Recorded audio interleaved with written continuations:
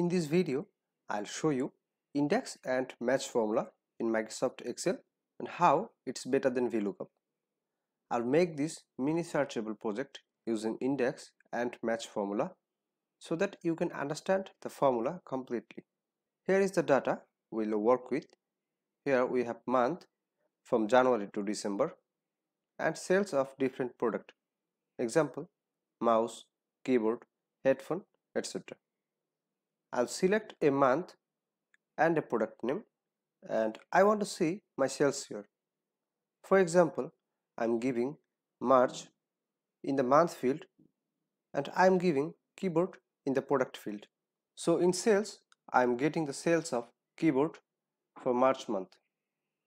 So let's start from the scratch.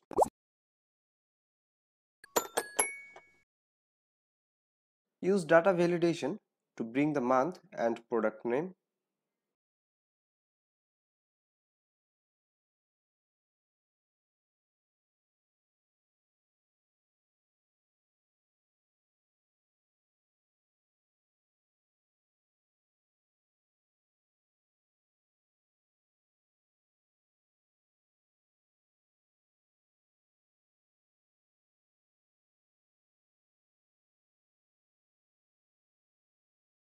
We have to learn both index and match formula independently to make this. I'll start from index formula. What is index formula? In a word, it's a formula which refers to a cell by giving a row number and a column number from a range. Example, I want to refer the sales of keyboard for February using only index. So I'll type index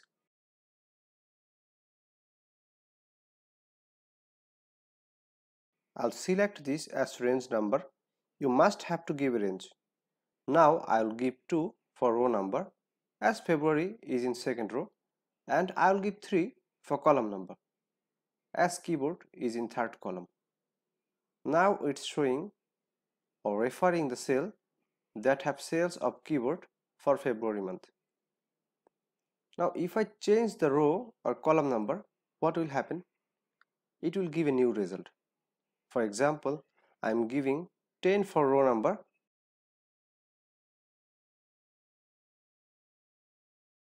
and 1 for column number. Now it's showing October sales for mouse as row 10 and column 1 intersect here. But if we give a row or column number out of the range, what result it will give? It will give an error for example, our range is this. We have 6 column, but I am giving 8 for column number. As 8th column is not in our range, so it will show an error. So now we have understand that index formula refers a cell by row number and a column number. This is how index formula works. Now I will show you match formula, then combine index and match formula together. What is match formula? In a word, match is a formula which gives position number of a cell from a selected range using a lookup value. Index directly show the data whereas match formula give the cell position number from the range.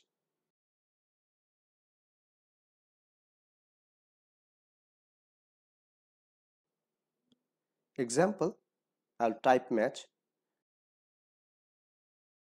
Then I'll select this month or type a month name as lookup value. I want to see the position number of this month cell within this range. Then select a range as array. Now the formula will search this month from this range and will give the position number. Give 0 for exact match. Now it's showing 2 that means this month is in the second position from that range. If I change it to 5, it will show May as May month is in the fifth position of that range. I will give another match formula for this product range and to see in which position this product is from this range. I'll type match, select this as lookup value and select this as range 0 for exact match now it's giving the position of this product within this range. So it's working as like column. If I change it to mouse it will show the mouse position. Okay now we know both index and match formula but we have to use it together to find the sales for this query list. If you look at the index formula you see we have given both row and column number manually to find the cells. But now we can use match formula to find the row and column number using lookup to make this automatic. So we'll copy this formula and we'll paste it here. Instead of row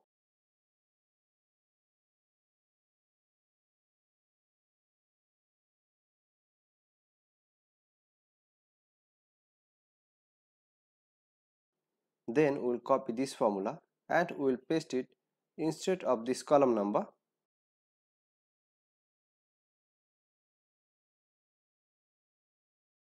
And it's working. Now for better understanding I'll type the whole formula once again. Type index. Select this as array or range. For row number it's 4 as April. but we'll use match formula here. Type match. Select this month as lookup value. This is as array. 0 for exact match. For column number it's 3 or keyboard as it is in the first column. But we'll use match formula here. Type match select this product name as match value select this as range and 0 for exact match. Now this match formula will bring out the position of this keyboard as 2 and which will be the column number. And our index and match formula is done. Now if you change the month and product name the sales will change accordingly. I hope you have enjoyed the video. Subscribe the channel to watch more video like this and make a collection of dashboard and chart videos that you haven't seen before. Thank you